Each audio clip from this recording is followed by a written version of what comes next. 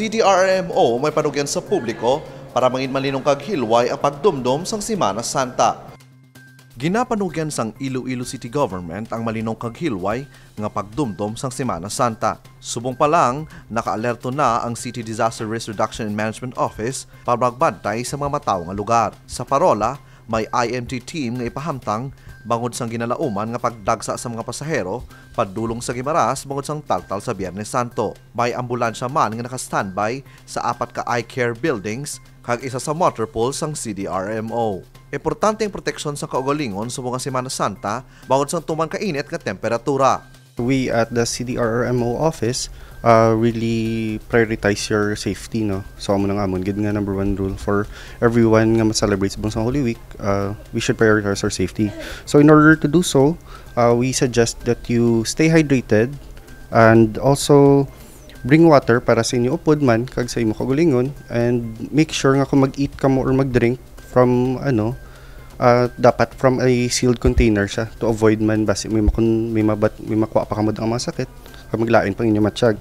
Also we suggest man nga to avoid alcoholic drinks because alcoholic drinks will uh, dehydrate you faster due to its diuretic effect man no. And next is bring umbrellas or caps to lessen the sun exposure.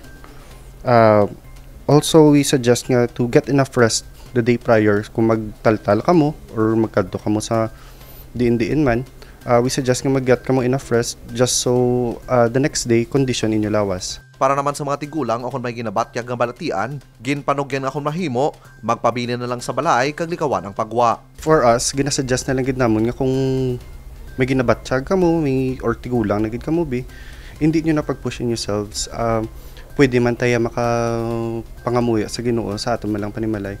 Pwede man tayo ka stay na lang didto kay budlay na nga makadto ka mo didto, malipong ka mo or may malaing nga matabo sa inyo, ang kaluluoy man ang inyo upod.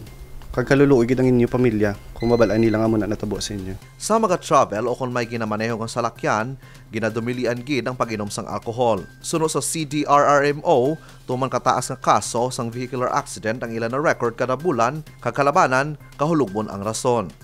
For this quarter, I think we recorded about more or less 400 cases ang vehicular accident.